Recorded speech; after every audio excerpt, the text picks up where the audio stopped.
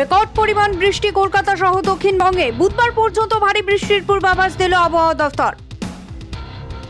ভবানীপুরে মমতার হয়ে প্রচারে যেতে অনীহা প্রকাশ করলেন বাবুল সুপ্রিয়। বিজেপি প্রার্থী প্রিয়াঙ্কা টিবডিওয়ালের বিরুদ্ধে গিয়ে অস্বস্তি বাড়াতে নারাজ তিনি।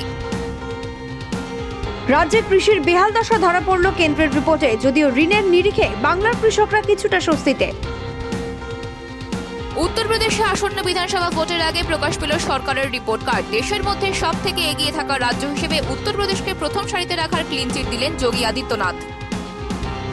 দ্বিপাক্ষিক বৈঠকে প্রথমবার বাইডেনের মুখোমুখি হতে চলেছেন মোদী। কথা বলবেন আফগানিস্তান নিয়ে। সক্রিয় রোগীর সংখ্যা এক ধাক্কায় কমল চোদ্দ হাজার তবে দৈনিক আক্রান্তের সংখ্যা থাকল তিরিশ হাজারেরও বেশি। এখনও পর্যন্ত দেশে প্রায় একাশি কোটি মানুষের টিকাকরণ হয়েছে। মার্চ দু হাজার কুড়ির পর সর্বনিম্ন সক্রিয় রোগীর সংখ্যা।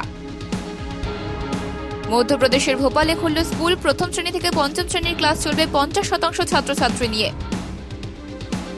দিল্লির এমসের টিকাকরণ কেন্দ্রে বিজেপি সভাপতি জেপি নাড্ডা। সঙ্গে রয়েছেন কেন্দ্রীয় স্বাস্থ্যমন্ত্রী মনসুখ মান্ডব্য। অনলাইনে খাবার কিনলে দিতে হবে জিএসটি খাবার ডেলিভারির ক্ষেত্রে ধার্য করা হবে পাঁচ শতাংশ জিএসটি নতুন নিয়ম চালু হতে পারে আগামী বছর পয়লা জানুয়ারি থেকে।